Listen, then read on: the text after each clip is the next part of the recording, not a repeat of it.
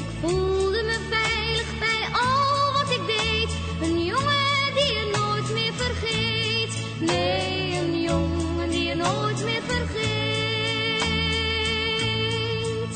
Hij kwam in ons dal op een paard. Het was op het einde van maart.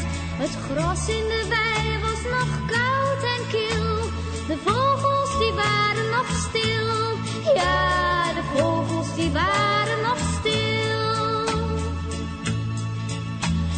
Vroeg om wat water en lachte me toe als een prins.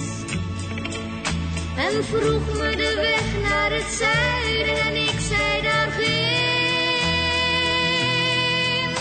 Het gras leek nog groener dan ooit. Het ijs in de sloot net ontdooid. Hij keek me toen aan en vroeg me opeens om mee